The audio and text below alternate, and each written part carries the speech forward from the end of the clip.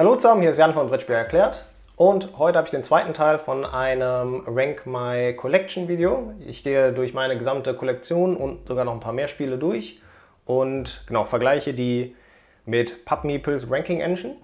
Das sehen wir nämlich auch hier. Falls ihr den ersten Teil nicht gesehen habt, schaut auf jeden Fall äh, in der Videobeschreibung unten ist er verlinkt oder jetzt oben wird er auch angezeigt. Dann schaut euch den ersten Teil an und kommt dann zurück.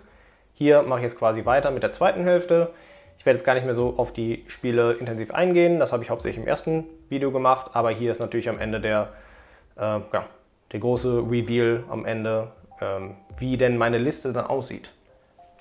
Ich habe gerade eben einmal aus Versehen auf Undo geklickt. Das heißt, wir müssen das letzte Ranking von eben nochmal machen.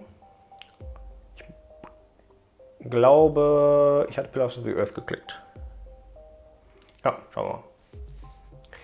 Genau, dann gehen wir weiter im Ranking.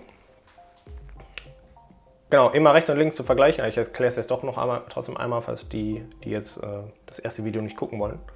Genau, immer rechts und links, wir vergleichen und dadurch geht quasi diese Ranking Engine einmal durch und erstellt mir am Ende dann eine gesamte Liste. Ähm, genau, dann würde ich sagen, da ist auf jeden Fall Clank ganz vorne. Hier würde ich dann aber Welcome to sagen. Cooles Flip and Ride.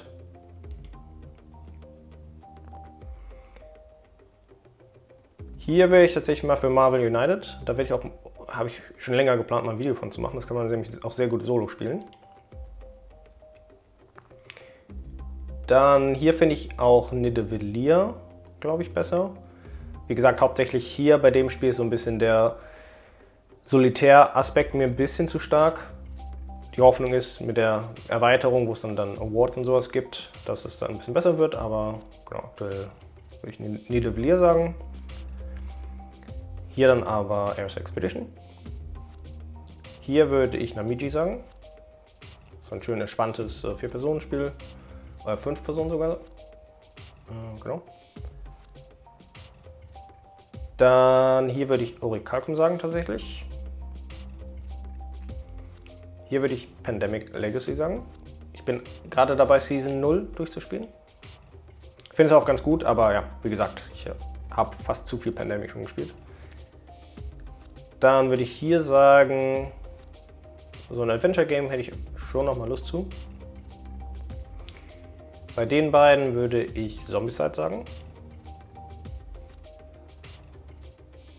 Hier würde ich At the Gate of Loyang sagen.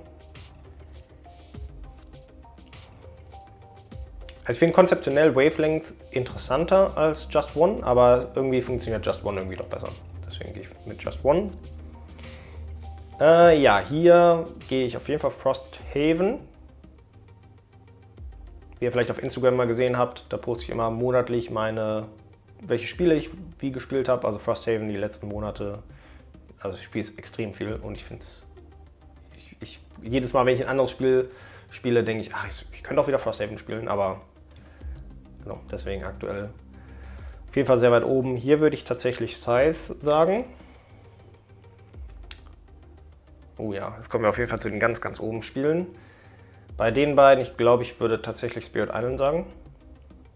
Cloud Spy ist schon echt Overhead, also auch schon echt viel lesen und so. Aber es ist das wert, deswegen ist es besser als Hiki. Ähm, hier würde ich Beyond the Sun sagen. Hier würde ich auf jeden Fall Iki sagen. Da, da soll auch eine Erweiterung bald rauskommen, habe ich irgendwie gehört. Also nicht, dass ich sage, mit Erweiterungen sind immer toll und man muss alle Erweiterungen haben, aber finde ich zumindest immer interessant. Und man informiert sich zumindest. Bei den beiden würde ich ans End sagen. Hier würde ich Conspiracy sagen. Hier würde ich Caverna sagen.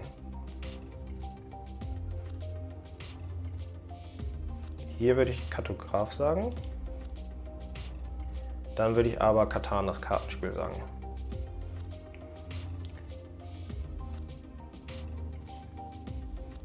Dann würde ich sagen QE. Hier auf jeden Fall Love Letter. Time Stories hat mir ja nicht so gut gefallen. Bei den beiden würde ich Mage Knight sagen.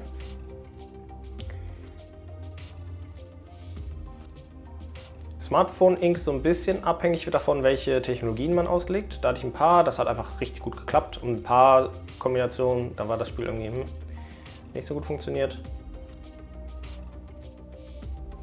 Deswegen glaube ich, gehe ich für Simonis Duel. Aber hier dann für Smartphone Ink. Bei den beiden Spielen gehe ich eher zu Chirol. Roll. Hier eher Cora. Auch ein cooler Dice-Placement-Mechanismus. Oder nicht Placement, aber ja, ich weiß gar nicht, wie man es beschreiben würde. Man würfelt und abhängig davon, was man würfelt, kann man bestimmte Aktionen machen. Hierbei würde ich Summoners Architect sagen. Bei den beiden Sachen würde ich Tengarden sagen. Genau, das will ich unbedingt nochmal spielen jetzt. Kingdom Rush oder Q. Ich würde, glaube ich, Q sagen aktuell. Die beiden, ja, beide kooperative Spiele, aber das ist sehr viel thematischer. Das ist ein bisschen involvierter vielleicht. Aber äh, ich nehme Robinson Crusoe. Hier nehme ich Fantastic Factories. Bei den beiden Sachen, nehme Res Arcana. Dann würde ich sagen,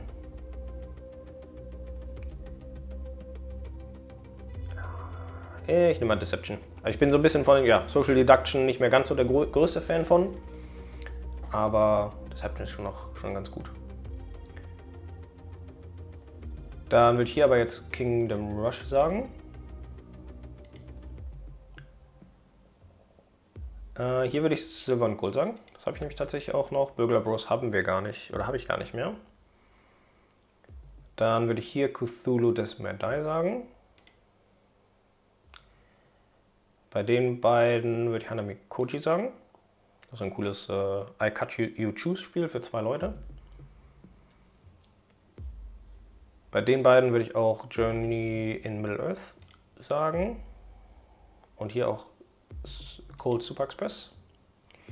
Aber hier würde ich jetzt mal die Burglar Bros nehmen. Hier würde ich Honeybus nehmen.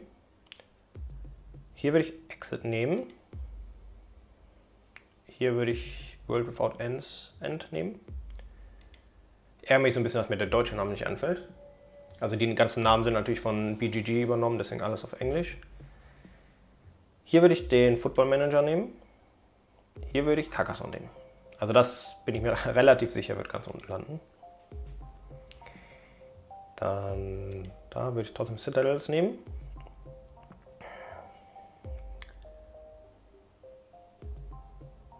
Schwere Entscheidung, Revive oder Castle of Burgundy. Beide finde ich extrem gut. Würde eigentlich sagen, beide sind in meiner Top 10, aber mittlerweile glaube ich, da sind schon mehr als 10 Spiele in meiner Top 10.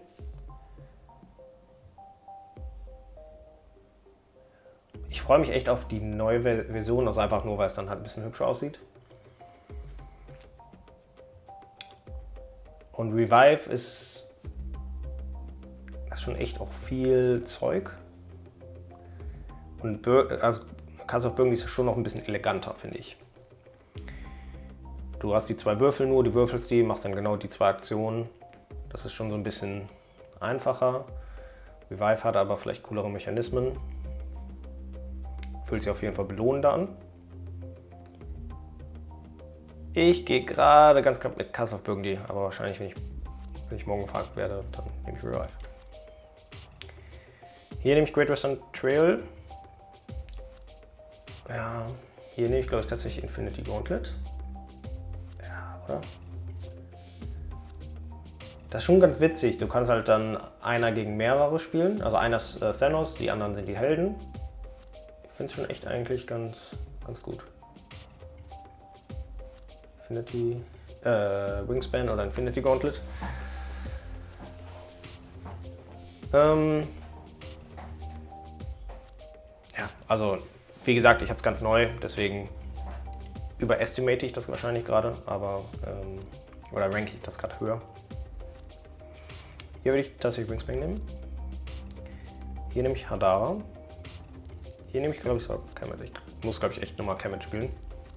Vor allem, dass das äh, die neue Version habe ich noch gar nicht gespielt. Das war noch die alte Version. Ähm, hier würde ich auch Cascadia tatsächlich nehmen. Hier würde ich auch Max vs. Minions nehmen. Wow. Hier nehme ich King of Tokyo. Wie gesagt, nicht der allergrößte Too Many Bones Fan. Ich fand es ein bisschen zu bestrafend tatsächlich für meinen, meinen Geschmack. Gerade wenn man anfängt und äh, man dann gegen wen kämpft und dann verliert man irgendwie, weil man vielleicht auch schlecht gewürfelt hat oder zumindest das Gefühl hat.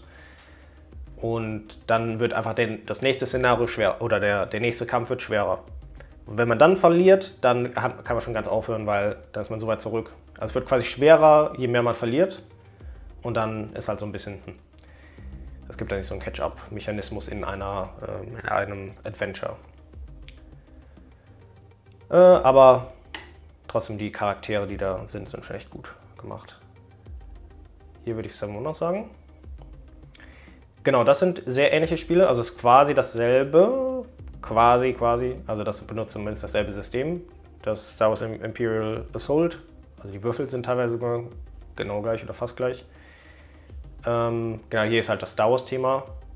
Ich finde tatsächlich Fantasy eigentlich besser vom Thema als Sci-Fi. Oder als Star Ich bin auch nicht der größte Star Wars-Fan, aber ich nehme mal Deception, äh, Descent. Ähm, hier würde ich dann Spice and Rice nehmen. Hier würde ich Crab City nehmen. Hier würde ich Imperial Assault nehmen. Dann haben wir hier. Den würde ich. Ja, na, Wizard habe ich echt viel gespielt auch. Ich nehme mal Warp's Edge. Hier würde ich aber Wizard nehmen. Dann würde ich hier Jump Drive nehmen. Also ich bin nicht der größte Disney Villains Fan. Ich würde sogar Spot It nehmen, glaube ich. Ich würde aber eher Disney Villains als Giganten. Aber erst Giganten als Imperium. Und auch eher Timelines als Imperium. Hier bin ich auf jeden Fall bei Ark Nova. Dann bin ich aber bei Rule for the Galaxy. Dann bin ich auch hier bei Dune Imperium. Da sollte bald meine Erweiterung ankommen. Beziehungsweise vielleicht habt ihr das Unboxing schon gesehen, wenn ihr das Video seht. Dann mal Remix. Dann Rise of the Ganges. Dann noch Legendary. Vielleicht sogar Mindfuck. Nee, Champion. Trails of Tucana. Na, Mindfuck ist schon einfach so schnell und gut zu spielen. Ist schon echt, echt clever gemacht. Dann Trails of Tucana. 18, äh, Anno 1800. Under Falling Skies. Caesar's Empire würde ich auch noch besser sehen. Da habe ich mehr Lust drauf. Dann Aquatica. Mit den beiden würde ich, glaube ich, nochmal Marvel Champions probieren wollen. Äh, bei den beiden würde ich tatsächlich Andor nehmen. Ja, ist schwer. Also Andor, wie gesagt, habe ich einfach immer die Legenden durchgespielt, aber ich habe auch jetzt das zweite Andor nicht gespielt. Es gibt also ein drittes und viertes noch. Äh, ich nehme Andor. Dann Flashpoint wahrscheinlich. Yep. Bei dem beiden Sheriff of Nottingham. Hier dann Tagi. Bei den beiden würde ich tatsächlich Five Minute Dungeon nehmen. Ja. Ja. Hier würde ich Imperial, Imperial Settler nehmen. Hier auch Pillars of the Earth. Ich würde tatsächlich hier Katar nehmen. Small World reizt mich gerade so gar nicht mehr irgendwie. Weiß auch gar nicht wieso. Hier nehme ich Frosthaven. Bei den beiden nehme ich Scythe. Dann nehme ich hier auch Spirit Island.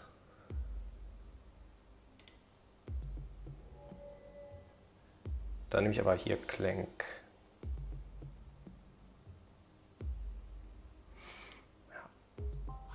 Hier nehme ich aber Clockspire. Ach, auch schwer. Also Welcome to. Ich habe jetzt auch Welcome to the Moon gespielt, das ist auch sehr gut.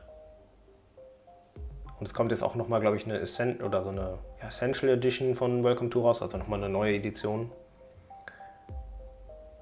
Das kann man halt echt einfach mit vielen Leuten spielen.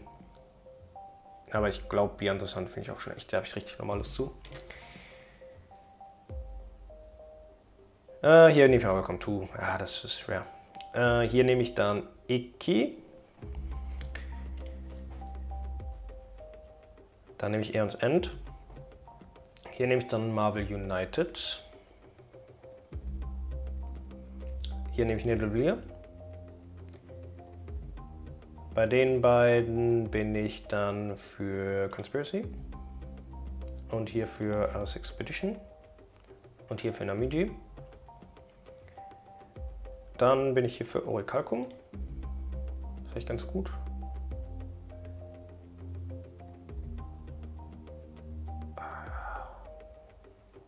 Pandemic Legacy würde ich sagen. Dann bei den beiden Caverna. Ja, ich würde Caverna sagen.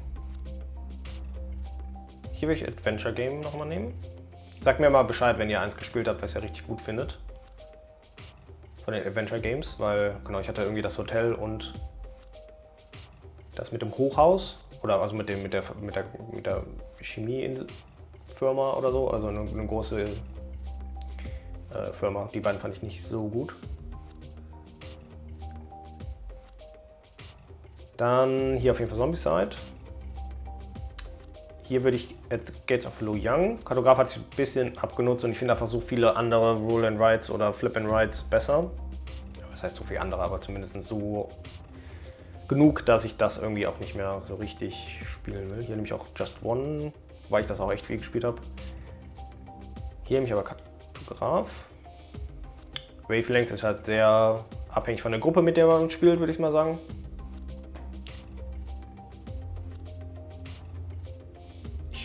Würde sogar mal das Kartenspiel nochmal spielen. Aber hier, ach, ja doch, QE will ich auf jeden Fall spielen. Und hier dann Wavelength. Castle of Burgundy. Boah, wird immer schwerer. Ja, Mage Knight ist auch so ein Spiel, das ist halt schon echt richtig gut, aber da muss man echt, ich muss, ich würde das auch nochmal, ich werde das auch irgendwie nächste Woche oder so nochmal spielen oder demnächst nochmal spielen.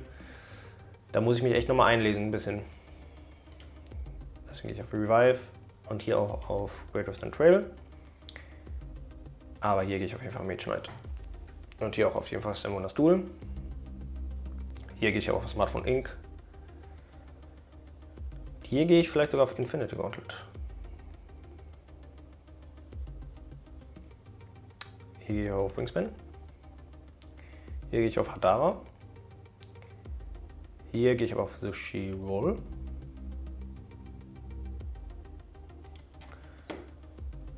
Ich bin gespannt, wie oft man sich auch dann widerspricht, sage ich mal. Das ist sicherlich schon einmal äh, vorgekommen oder ein paar Mal. Dann würde ich hier sagen Kemet. Ja. Ja. Hier sage ich Cora. Hier sage ich Seven Wonders Architects. Hier sage ich Tengarden. Hier sage ich aber Cascadia. Da soll ja auch eine neue Erweiterung rauskommen bei Cascadia. Wobei, da weiß ich gar nicht, ob das eine Erweiterung braucht. Hier würde ich Max vs. Minions sagen. Und aber hier dann, ja, auch King of Tokyo. Dann auch Kubitos. Dann noch Century, hauptsächlich weil man das auch echt wirklich mit ihm spielen kann. Hier RQ, Okay, interessanter Vergleich. Ich würde, glaube ich, hätte ich noch mal mehr Lust auf Robinson Crusoe, weil es auch ein bisschen an, einfacher ist, äh, reinzukommen, bei Too Many Bones, ne? wie Chip Theory Games halt. Da muss man sich einarbeiten. Hier Res Arcana. Hier Too Many Bones tatsächlich. Deception und Ticket to Ride.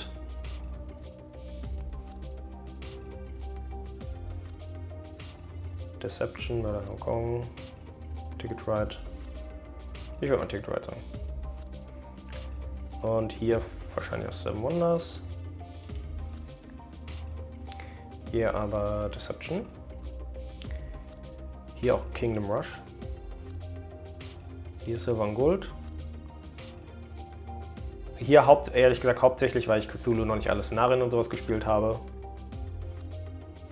Glaube, wenn ich mit Cthulhu Death mit alle Szenarien und sowas gespielt habe einmal, dann... Wobei, das ist ja nicht so eine richtige Kampagne, dass man sagt, okay, am Ende ist es vorbei so. Man kann eigentlich jedes Szenario beliebig oft spielen. Ähm, ist ja bei Descent ein bisschen anders. Aber auf jeden Fall Cthulhu. Hier auch Hanami Koji.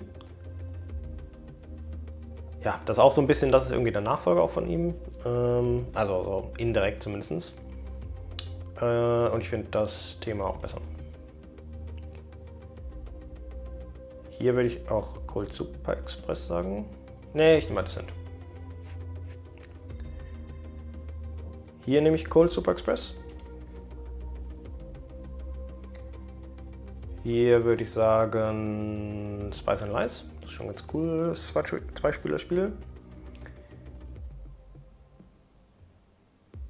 Ich, hier würde ich Burglar Bros sagen. Hier würde ich Honeybus sagen. Hm, naja, das sind beides so Serien, die, von denen ich einfach zu viel gespielt, oder was heißt zu viel gespielt habe, aber wo ich so ein bisschen, ähm, ja, weiß nicht mehr, das Neueste mir holen würde unbedingt. Ich würde aber Crime City sagen. Das kann man wenigstens äh, danach noch wem anders geben. Dann Imperial Assault, Warp's Edge. Ja, ich würde auch Wizard nochmal spielen. Ja, ich würde auch, glaube ich, Jump Drive. Ja, wobei so ein Fort Exit würde ich, glaube ich, eher als Jump Drive spielen. Da Ultra Hot Ends.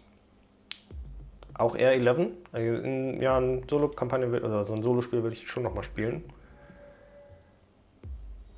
Hier vielleicht auch Carcassonne. Also Jump Drive ist jetzt. Äh, ich spiele das auch öfters nochmal, aber ist eher so, wenn, weil die anderen das spielen wollen, spiele ich das auch mal mit und ist auch okay, aber ich selber würde das jetzt nicht unbedingt vorschlagen. Aber erst Citadels. Spotted. Dann Citadels. Disney Villains spiele ich auch eigentlich nur zu zweit. Ich habe das auch, wenn man das mit mehreren spielt. Ich weiß, ich weiß gar nicht, ob man bis zu sechs spielen kann. Ich hoffe nicht. Also das dauert dann extrem lang. Aber Disney Villains. Und hier Giganten. Und auch Timelines. Und uh, das jetzt tatsächlich. Aber ich glaube, das ist fast nicht, nicht fair. Äh, wobei mich würde mal interessieren, ob hier überhaupt. Ich habe das ja als Kind damals gespielt. Aber da, ja. Ich mach mal so. So, ja, jetzt sind wir wieder oben angelangt. Jetzt geht es wieder von, mit den ganz schweren Entscheidungen weiter. Das ist Frosthaven. Das ist auf jeden Fall Ark Nova. Das ist tatsächlich War for the Galaxy. Das ist tatsächlich Scythe. Das ist Dune Imperium. Das ist Spirit Island.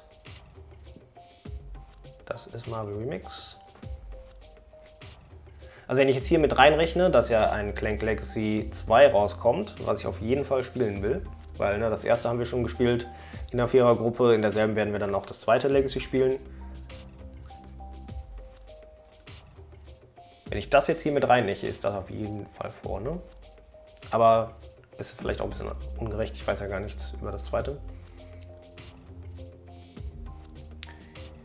Deswegen nehme ich mal. Ja, doch, ich nehme mal Clank. Hier nehme ich aber Marvel Remix.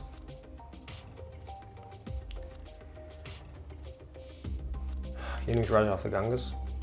Hier nehme ich aber Cloud Spire. Hier nehme ich auch Beyond the Sun. Aber hier nehme ich Marvel Deckbuilding Game. Ich bin auch, glaube ich, einer der wenigen, die, die das hier noch so hoch rankt. Im Vergleich zu neueren Deckspiel, Deckbauspielen ist das halt schon einfach, merkt man, dass das ein bisschen älter ist. Aber ja, ich habe da so eine Vielfalt an Karten und an Gegnern, gegen die ich kämpfen kann. Das ist schon, schon echt cool. Champions of Midgard. Dann Welcome to. Hm, auch nicht einfach. Ich will Welcome to tatsächlich nehmen. Hier will ich auch Iki nehmen. Und hier auch Eons End. Hier aber mein Bug. Hm, hier Trails Tucana. Hier, boah, ja, hier nehme ich Marvel United. Hier nehme ich Niedervilliers. Hier nehme ich Anno. Dann bei den beiden, na, ich würde Conspiracy, glaube ich, nehmen. Dann Anna Falling Skies. Also ja, Ares Expedition ist halt echt solitär. Wenn das nicht wäre, dann fände ich das deutlich, deutlich besser. Aber also ich finde es immer noch sehr gut. Äh, das hört sich immer so an. Finde eigentlich so die über die Hälfte hier finde ich wirklich sehr gut. Dann Namiji. Koricalcum. Aquatica ist so ein bisschen, finde ich immer noch gut. Aber ist ein bisschen gesunken. No pun äh, intended.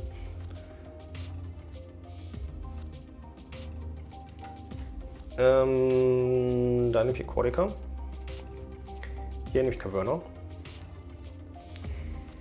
Hier würde ich Marvel Champions tatsächlich nochmal spielen wollen. Hier aber eher Adventure Games. Hier auch Zombicide. Bei den beiden Legends of Andor. Hier Flashpoint. Hier aber At the Gate of Lo Young. Hier Just One. Hier Sheriff Nottingham. Hier Tagi. Nee. Hm. Hier Kartograf. Dann Katan, das Kartenspiel. Dann QE. Dann Five Minute Dungeon. Dann Five Wavelength. Dann Imperial Settlers. Ich würde tatsächlich auch mal das Empires of the North äh, gern spielen wollen. Das soll ja das alte so noch deutlich besser als das, das, äh, das Imperial Settlers sein. Und zumindest ähnliche äh, Mechanismen haben. Pillars of the Earth. Hier würde ich Love Letter nehmen. Hier würde ich Katan nehmen. Hier Lord of the Rings. Genau, das Time Story ist, wie gesagt, dort eine nicht so gute Erfahrung. Aber besser als Keyforge-Erfahrung. Hier nehme ich Frosthaven. Hier nehme ich Agnova. Of the Galaxy. Scythe. Dune. Ah, man denkt immer, ja, jetzt kann es eigentlich nichts Besseres geben. Äh, hier of Burnley. Ach, Revive gibt es ja auch noch. Spirit Island.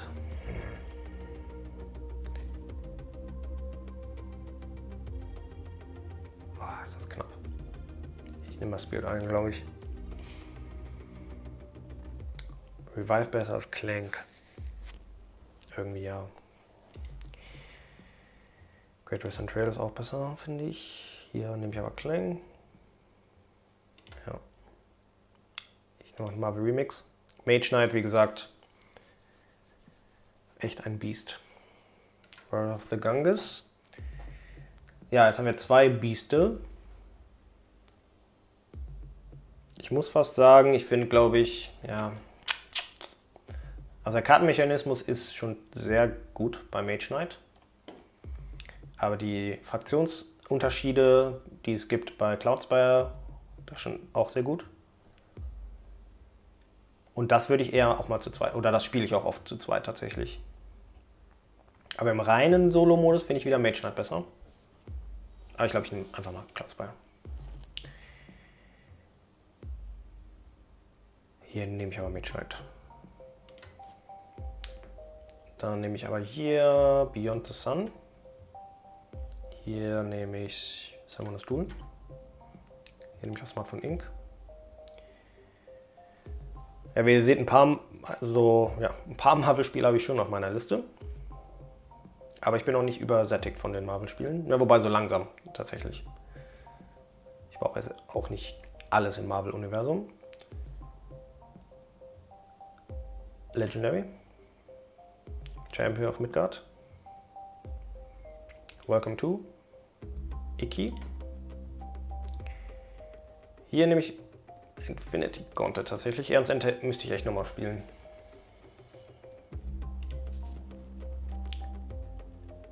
Hier nehme ich tatsächlich sogar Mindbug. Hier nehme ich auch Trails of Tucana. Also gefühlt Wingspan bei mir schwankt ziemlich stark hoch und runter. Nidavellir. Yep. Anno 1800 spiele ich auch lieber. Wingspan. Hadara. Sushi Roll.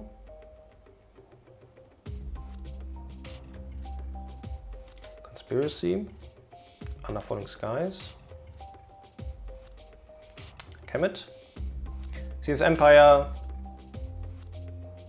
Weiß ich nicht, ob man das wirklich so, je, ne, so alle zwei Wochen spielen, spielen will. Ich glaube, das ist so ein super Spiel, was man mal so alle zwei, drei Monate rausholt.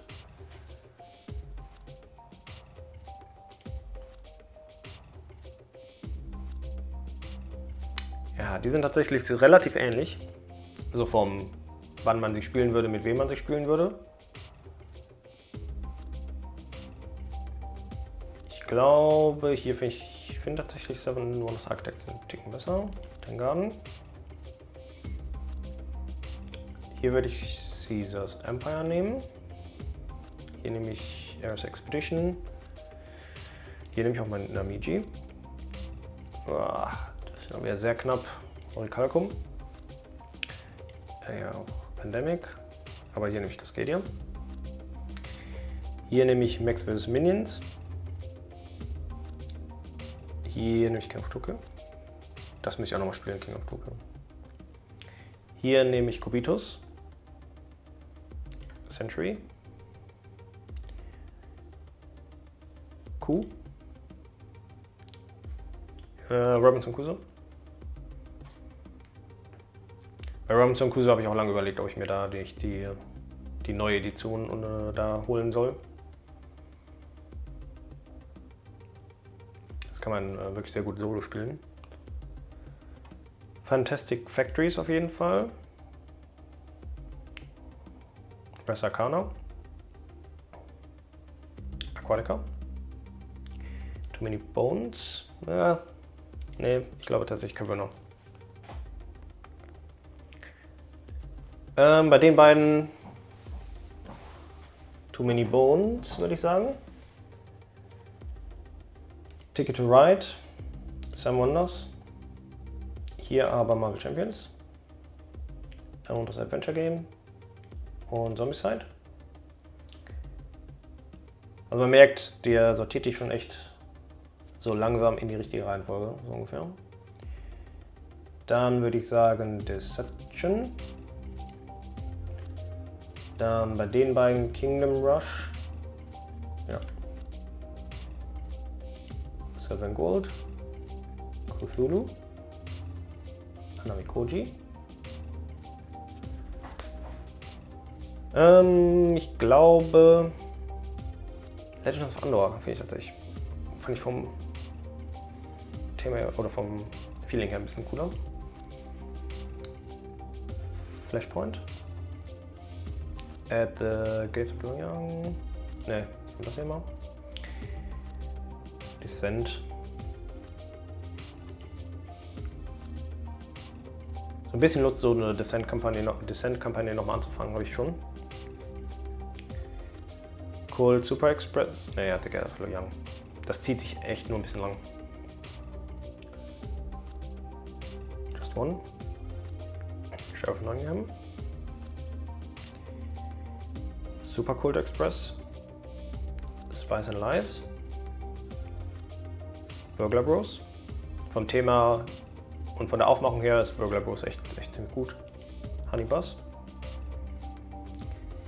Mikro Makro Crime City. Ja, Tagi, Tagi hat mich nicht ganz so abgeholt. Wie man hier vielleicht jetzt sieht. Aber er war es Wizard. Also Wizard habe ich auch einfach drauf gespielt. Was haben wir hier? Wizard oder Katan? Ja, vielleicht will ich in Katan das Kartenspiel spielen. QE. Five Minute Dungeon.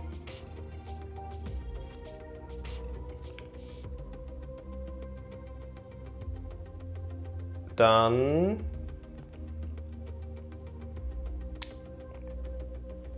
Wizard. Wavelengths. Also Wavelengths, ja, also mit der richtigen Gruppe ist das schon echt, echt ziemlich gut. Weiß auch gar nicht gerade den deutschen Namen nicht von Wavelength. Ähm, hier Imperial Settlers. Hier Pillars of the Earth. Love Letter, also ja, so ein Exit-Spiel. Ich habe mir auch das Herr der Ringe Exit-Spiel nicht geholt zum Beispiel, wo man denkt, ah ja, nochmal so eine AP und so, ist dann vielleicht mal ganz interessant.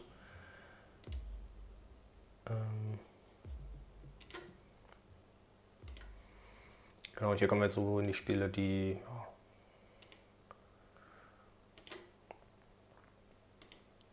mich jetzt nicht besonders reizen. Und dann sollte ich gleich durch sein, glaube ich. Und dann gehen wir natürlich einmal noch die Top-Liste durch. Giganten, auch wenn ich sie Ewigkeit nicht gespielt habe. Ja, also wie gesagt, wenn ihr Fans hiervon seid, dann entschuldigt mich. Gut, dann ist das die Liste. Ich blende das natürlich kurz aus. Genau, den Link share ich natürlich gleich auch zur, oder share ich im, in der Videobeschreibung. Ähm, da könnt ihr das auch mal machen. Wie gesagt, ihr braucht nur einen BGG-Account oder ihr könnt auch theoretisch Sachen selber abtippen, aber mit BGG kann man natürlich dann die, ähm, ja, seine, seine Kollektion quasi reinladen und dann auch darauf filtern. Man kann auch sagen, nimm nur die Spiele, die ich mindestens mit einer 7 bewertet habe, 7 oder höher, sowas in der Richtung. Aber genau, schauen wir einmal rein. King Arthur, das äh, schlecht bewerteste Spiel, was ich mal besessen habe. Wie gesagt, war fast eher ein ein Spaß nur, dass ich das überhaupt mit reingenommen habe. Sagt mir mal, wenn irgendeiner das kennt. Äh, Würde mich mal interessieren. Imperial Classic, äh, ja, einfach irgendwie gar nicht funktioniert. Habe ich auch abgebrochen tatsächlich mal. Keyforge war auch, ist einfach auch nicht so meins. Die Idee ist natürlich mega cool mit den Decks. Disney Villainous, so die meisten Sachen hier sind wie erwartet. 11, relativ weit unten. Ähm, ja, Small World bin ich mir wirklich nicht sicher, wieso das so weit, oder ja, hätte ich keine Lust, nicht so richtig Lust nochmal zu spielen, muss ich sagen. Ähm, aber weiß ich auch gar nicht, fand es auch nicht irgendwie schlecht. Also, als ich das hatte, fand ich es auch tatsächlich ziemlich gut. Love Letter, Pillars of the Earth. Pure Cellars hatte ich auch eine lange Zeit lang. Ähm, genau, QE hatte ich bis vor kurzem noch. Das ist, wie gesagt, fand ich richtig gut am Anfang. Kann ich auf jeden Fall mal empfehlen, auch wenn das irgendeiner dabei ist, auf jeden Fall eine coole Erfahrung. Macht auch die ersten zehn Mal Spaß, äh, aber für mich war es dann wirklich so, also kann auch daran liegen, dass ich mit, irgendwie mit denselben Leuten gespielt habe, ähm, dass es dann irgendwie ähnlich immer verlaufen ist, das Spiel an sich.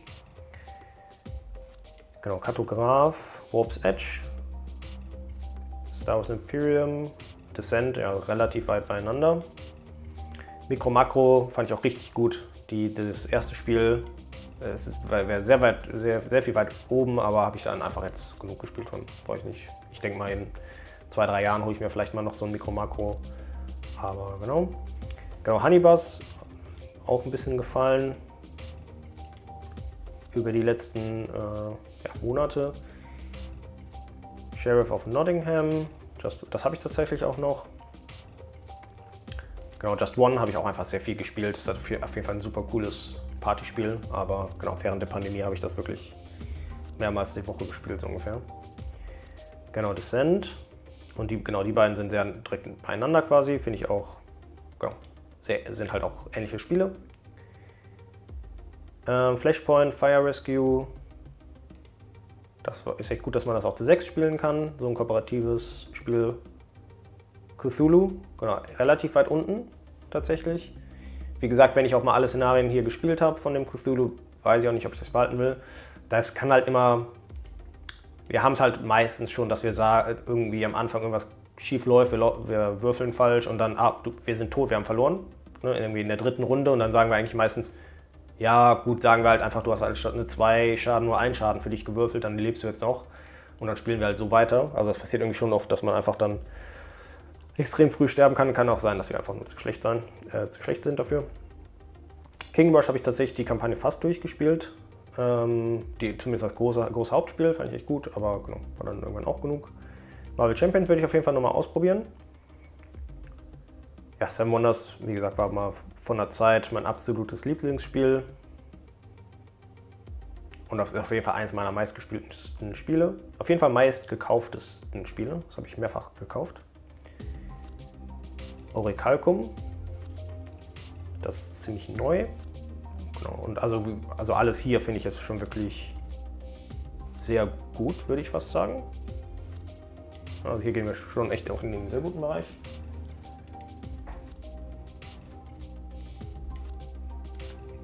Ähm, genau. Tengarden müsste ich unbedingt nochmal spielen. Seven das Architects eigentlich auch, aber ich spiele aktuell eher wenig mit Leuten, die das noch nicht so oft gespielt haben. Under Falling Skies, da muss ich unbedingt meine Kampagne noch zu Ende spielen. Das wollte ich auch eigentlich mal auf dem Kanal hier zeigen. Da, genau, schaut, schaut da mal, ob ich, das mal, ob ich das mal mache. Sushi Roll, quasi wie Sushi Go, nur mit Würfeln. Ähm, Hadara, sehr cooles Drafting-Spiel, hat für mich auch so ein bisschen Wonders ersetzt. Anno 1800 ist eher auf dem steigenden Ast tatsächlich. Ich habe es jetzt nochmal äh, letzte Woche, vorletzte Woche gespielt und äh, ja, echt gut. Trails of Tucana auch ein super Spiel, kannst auch echt super mit jedem spielen. Infinity Gauntlet, ich glaube mein neuestes Spiel, deswegen ziemlich hoch, fast in den 20ern. Iki, also jetzt kommen wir wirklich in die Spiele, die ja, meine Top 20 fast sind, wobei wie gesagt, das sind nur die Spiele, die ich äh, besitze oder ähm, mal besessen habe. Legendary, Smartphone Inc., super Spiel auch zu fünft. Samuel's Duel, Beyond the Sun, Mage Knight. Fast ein bisschen niedrig, aber ja, einfach daran, liegt daran, dass ich jetzt auch ein bisschen nicht gespielt habe und ich jetzt mich wieder wirklich einlesen muss. Aber genau, finde ich interessant, direkt neben Cloudspire. Raja of the Ganges, super Dice-Spiel. Wie gesagt, ich finde es auch besser als, Raja of the, als das normale Raja of the Ganges. Bin ich, glaube ich, auch eher die Ausnahme. Ist halt so ein bisschen wie auch ähm, ganz schön clever, ähm, wie das Roll and Ride aber ein bisschen kniffliger und ein bisschen mehr, mehr äh, dran, sage ich mal. Marvel Remix nicht mehr oder nicht in meiner Top 10. Da hätte ich auch auf jeden Fall gesagt, das wäre in meiner Top 10. Clank ist nur meine 10, also relativ niedrig. Das ist aber noch meine, in meiner Top 10. Great Western Trail, auch nur die 9 eigentlich, aber ja. Revive, auch nur die 8. Äh, das sage ich jetzt wahrscheinlich bei allen. Spirit Island, Super Solo-Spiel, habe ich auch nochmal richtig Bock drauf. Da werde ich auch auf jeden Fall nochmal ein Video zu machen. Castles of Burgundy. Da kommt ja auch, glaube ich, mit der neuen Edition Solo-Modus raus. Den will ich auf jeden Fall dann zeigen. Da habe ich auch richtig Bock drauf. Dune Imperium. Da werde ich auch nochmal Videos zu machen, auch wenn die Erweiterung rauskommt. Also die Sachen so, die, die wie gesagt, hatte ich erwartet, dass die alle so weit hoch sind. Sai, finde ich extrem cool. Und dann Nummer 3, World of War for the Galaxy. Das ist vielleicht die größte Überraschung äh, für, für euch. Das ist ja, glaube ich, nicht so ein Spiel, was so hoch gerankt ist allgemein. Ähm, aber ja, ich finde es extrem gut. Wie gesagt, ich spiele es auch fast nur zu zweit. Und wenn man das halt mit wem spielt, der das halt auch so oft gespielt hat, dann ist das so schnell runtergespielt und äh, ja, hat so ein bisschen was auch von den variablen Fähigkeiten wie ähm, Terraforming Mars oder auch Arc Nova, dass man halt irgendwelche Kombis aufbauen kann, dass das dann gut mit dem funktioniert und jedes Mal, wenn du irgendwie das baust, kriegst du noch was so. Arc Nova und Frosthaven, ja, das hätte ich euch quasi vorher schon sagen können. Äh, Frosthaven, wie gesagt, halt das Kampagnenspiel gerade. Finde ich immer schwer, wenn ich die Kampagne irgendwann dann mal in Jahren irgendwann durch habe. finde ich dann schwer zu bewerten. Ich hatte auch übrigens äh, Gloomhaven natürlich rausgenommen, weil fand ich dann noch komisch, irgendwie Frosthaven, Gloomhaven und Jaws of the Lion irgendwie 1, 2 und 3 zu haben. Aber genau, das spiele ich natürlich gerade am allermeisten und äh, finde es auch richtig gut. Ja, das war meine Liste. Dann sage ich auf jeden Fall schon mal vielen Dank fürs Zuschauen. Schreibt mir gerne auch in die Kommentare, falls ihr mal das Ranking Engine gemacht habt. Und vielleicht auch, was ich als nächstes ranken soll. Ich kann natürlich auch mal machen, alle Spiele, die ich eben nicht in meiner Sammlung habe, aber schon mal woanders gespielt habe. Da würde ich, wobei, aber da würde ich dann vorselektieren, weil sonst wären das zu viele.